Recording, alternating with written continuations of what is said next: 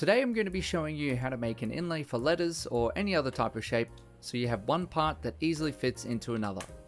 This is a great method to use if you want to have a multicolored print but either don't have a multicolored printer or don't want to do a filament swap. It allows you to print the parts separately and gives you the ability to slot them into place without the need for any post-processing such as sanding or glue. Now before we get started, I'm just going to set the scene properties in terms of what type of units we're going to be using.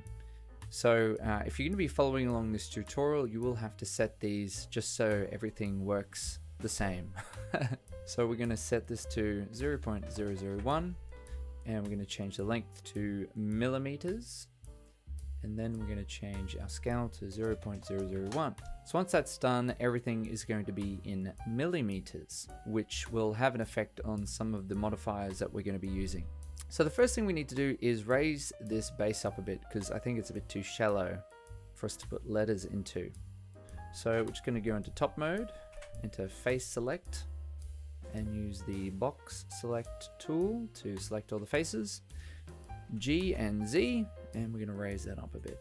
So we've raised up this base so we have a little bit more wiggle room with the depth of the cutout. And now we're going to add in the text. I uh, don't really like this text, so we're going to change it up. And we're going to use Bookman Old Style I think this looks quite nice. And then type in just. Now, before you go to creating this into a 3D model, we need to create a bit of gap between these letters because they're too close to each other and that is going to cause issues when we print it. So we're going to hold Alt and then right arrow uh, four times.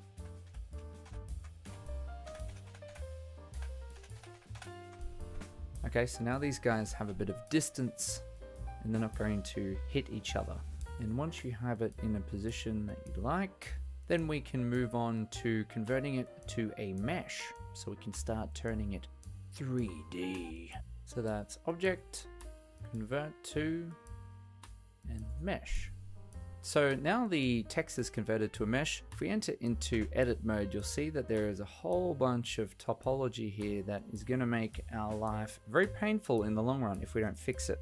So we're going to select all the text, go to Mesh, Clean Up, and Limited Dissolve. And it should generally clean it up pretty good without needing to touch anything.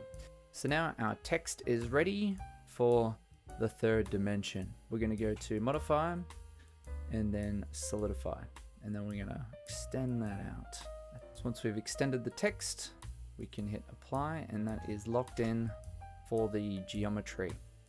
Okay, so this next step is going to take you a couple of tries to do because the settings you choose depends on your printer, your filament, how well you've calibrated your printer, and a whole bunch of other things. So just be prepared to have to redo this step a few times. So before you proceed any further, I would make a save of this version and uh, revert back to it when you need to to adjust things. So we're going to be adding a modifier, solidify again.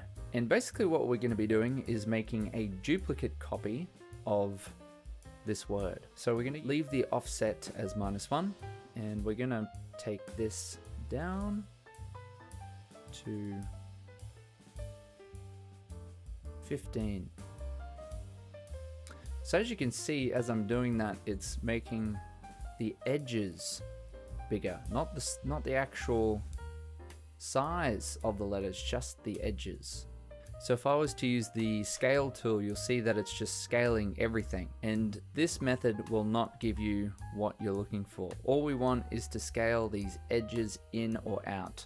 And that's exactly what this tool does. So now after many prints, and attempts at doing this, I know that 0.015 is the perfect thickness. So once we've got our thickness in, we can hit apply and then we're gonna head to edit mode, vertice selection, and you're gonna select one vertice from each letter.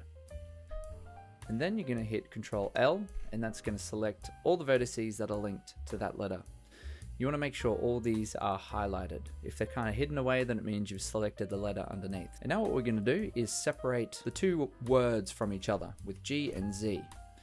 and you'll see that there is a copy underneath. So the one that I have right now is the one we're going to be using for the cutout because you can see it's the edges are a little bit bigger than that one underneath. So we're just going to move that guy up here and we're going to press P and then separate by selection and that's going to turn this into its own object so we can control them separately. So I'm going to move this up here and I'm going to move this down here into our object. Now this step you have to be careful because you don't want to push this word too far down because then the letters will start showing through the base. But you also don't want to have it too far up because then there's not going to be anything for the letter to recess into. So I think around about there is pretty good.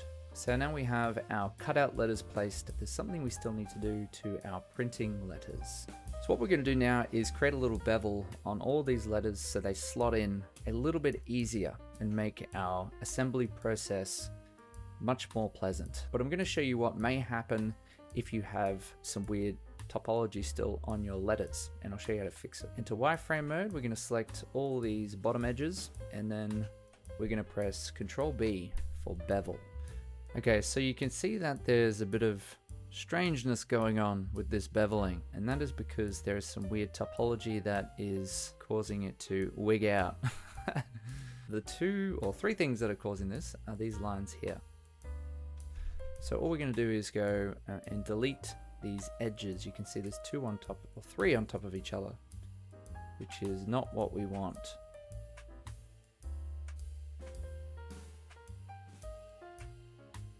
Now those weird edges are gone. So we're going to hit Alt Shift to select the entire outline of the edge and hit F to fill these in. And hit F. So if we go back and select all of these edges and do the bevel, we should see that there, we aren't getting those weird artifacts as much, just as long as we don't push it too far. If we push it up there, then it's going to happen. But we don't need to. Just push it up a little bit, just like that, and then use your middle mouse scrolling wheel to round it off. So all of our letters have a nice round edge. These may look pretty extreme, but when you print them, uh, depending on your printer, they may even print straight, depending on how much elephant's foot you have. But I think it's always a good idea to round them off, regardless of how good or bad your printer is, because it will make a pretty good difference in assembly. So we've got our printable letters set up. Now we're going to start the cutout. So we're going to click on the base model, go to modify, boolean, and then we're going to use the eyedropper tool to select these letters. And then we're going to select the letters and hide them. Now the boolean pretty much always has issues.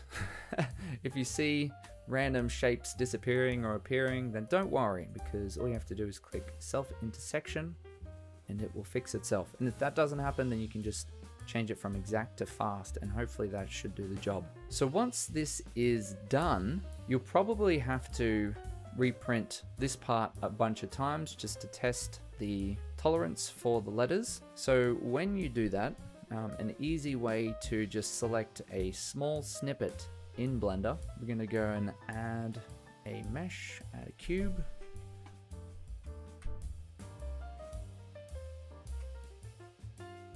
duplicate that. So once we have our second square in place, we can join them together. Select the base model, apply the boolean from before because that's good to go. And then add another boolean and select these squares that we've just placed and then hide them off. So this is going to allow you to print a much smaller part of the model without having to waste all this time and filament printing the rest of it when you don't need it, just for testing.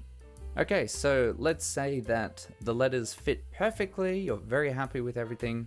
All you have to do is remove this boolean from before, and you're pretty much good to go. So now it's time to have a look at the final product. So here is the final product. As you can see, the parts fit in perfectly, and it's all looking good. Hopefully this video has helped, and I'll see you in the next one.